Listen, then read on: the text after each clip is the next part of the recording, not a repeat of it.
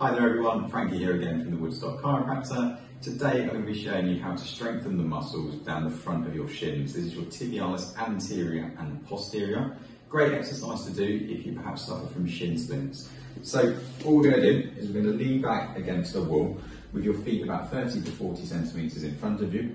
We're going to keep the heels planted, but we're going to lift the toes and really squeeze the muscles around the front of your shins.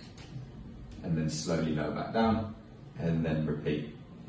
Give this one a go and let me know how you get on.